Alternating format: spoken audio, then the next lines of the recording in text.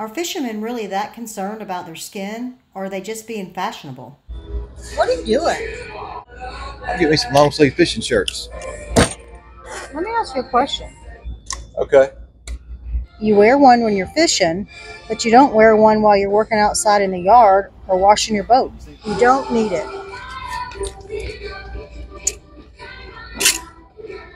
Yes, I think I have the answer. I told you the professor would know. You were right. What's the answer? When it comes to being tricky, ask a woman